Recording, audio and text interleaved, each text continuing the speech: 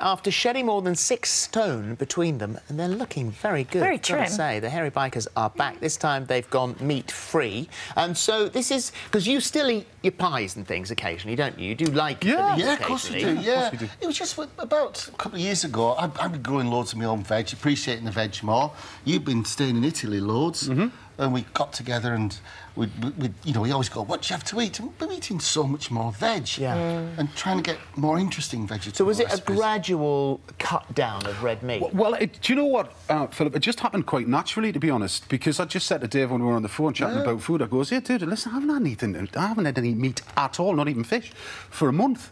And all the kids were over, as they were Mm. at Dave's place, and he goes, "Yeah, I've just been feeding the kids loads of veggie stuff because the vegetarian food was and, and the vegetables were so good and of great quality where we were." So, and it just kind of happened naturally, and we just thought, "Let's write a book." And, um, and I've just been looking through the book, and actually, what is lovely about it is that I mean, I'm a meat eater. There's no Yes. doubt Oh, about yeah, it. I so love that, and. I love the comfort sort of big comfort food stews and things like that.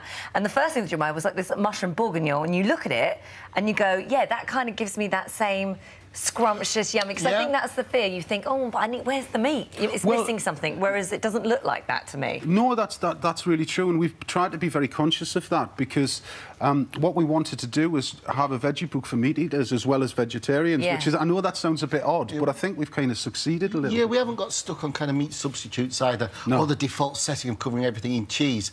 We wanted the textures and colours there of a proper dinner. Yeah. And it, almost by default, when we did the calorie counts, they did fall into healthy eating. Yeah, yeah, That's what we're going to cook now, is about 370 calories for your dinner. Which is great. Yeah. This is the book here that we're talking about, The Hairy Dieters Go Veggie. So there you go. And we're going to cook something delicious now. So what are we cooking?